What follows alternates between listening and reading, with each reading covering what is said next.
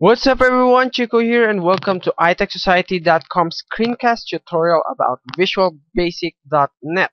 So, in this tutorial we're going to learn how to create a simple web browser. So first let's take a look at this web browser. I created this just now. Now we are on Google. So let's try and navigate away from Google and go to Facebook.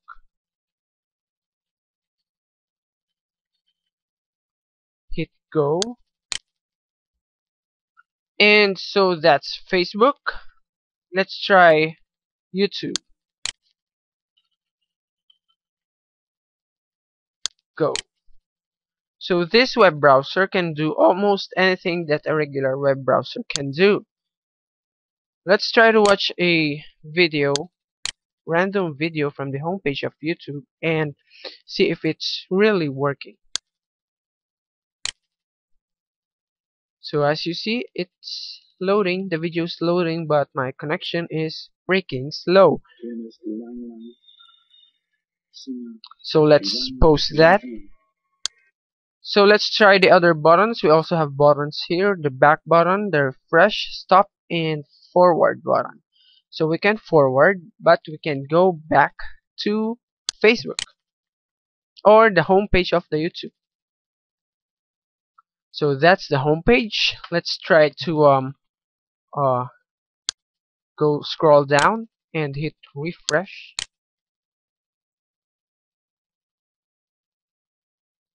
So that's it. It refreshes the website. And try to move forward. That's the video that we have watched just now. Stop download. So let's start coding. Let's close that form or let's close this application and create our own. Oh hi Taylor. Oh don't look at me like that. Gee. By the way Taylor will be having a concert this February here in the Philippines so watch out. Let's open our uh, Microsoft Visual Studio 2010 Express Edition Visual Basic. And let's create a new project or just hit file and new project or just control N. Select Windows Form Application and name our application with something related to it. So I'm going to be naming it as its web browser well, I don't know exactly if the web browser comes in one word, but that doesn't really matter. Hit OK.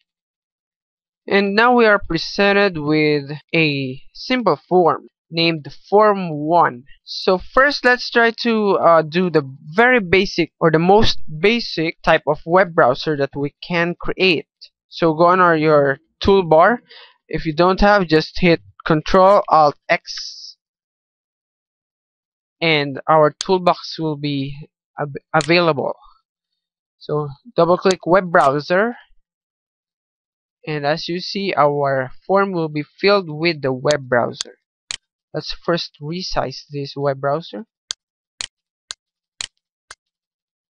Or the form resize the form and select the web browser. And first let's undock this web browser by clicking this little right arrow here and hit undock in parent so let's place it on our uh, form nicely.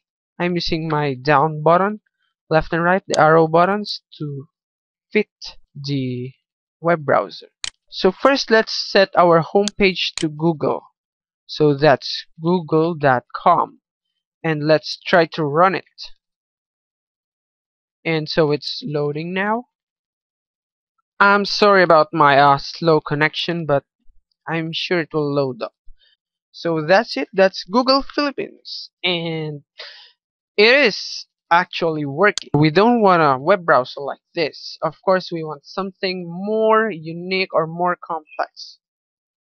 But still this is a basic or just a simple web browser. So let's close that and add some buttons to click. So let's first change the text of this button into go. And then change the name into go btn let's start coding. So click this go button twice and you'll be presented with a pre-made private sub. So what we are going to do with this button is that every time a user clicks it or clicks the go button our web browser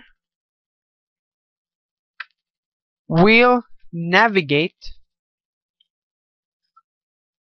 to let's first try to google.com and once we press this it will bring us to Google.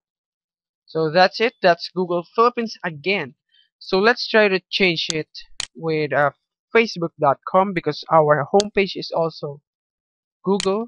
Let's try to change it into Facebook. Run it by pressing F5 wait for our uh, homepage to load and press go. So that's Facebook and let's add some more uh, things to our web browser. So that's actually perfectly running but the the bad thing is we always have to change the value we placed in the go button. So let's add some things to our design. And that should be a text box. And this will be our address bar. So let's first rename it into address txt this will serve as the user input for the address they want to visit. So let's double click the go button and manipulate some codes.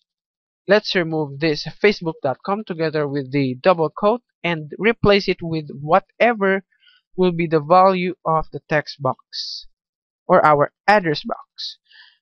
You remember that our text box is named as address so just type in address and select address text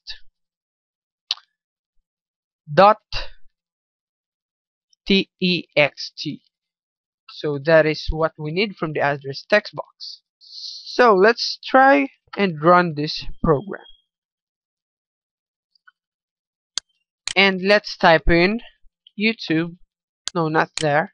Here youtube.com hit go and as you see it now works perfectly fine with whatever we want to type here. Let's also type itechsociety.com hit go. Excuse me. And yes it is now perfectly working. Of course we want to add some navigation buttons to go back forward stop and refresh. So let's close that again and go to our design add some more buttons. So let's bring this down to give space for our buttons and add some buttons I think about four. So let's change its text property. Select text type in back. For this one it will be uh refresh. Oh, let's change it to refresh that's it.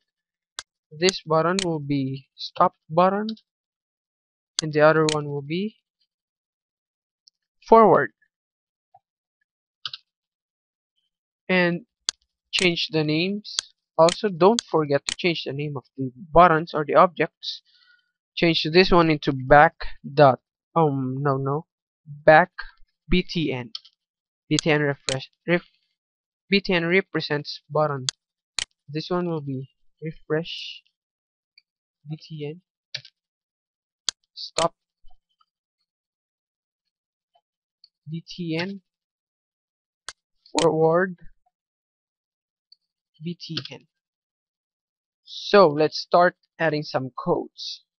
Double click back and type in web browser 1 because that's the name of our web browser. Go back. Yeah that's it. And click on our design and refresh button. Type in web browser 1 dot uh, refresh. That's it. For the stop we're going to use web browser 1 dot stop and for the last one it's forward. Web browser. 1 dot. Go forward. So that's it. Let's try running our program shall we?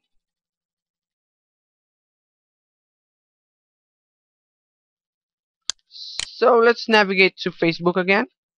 My favorite page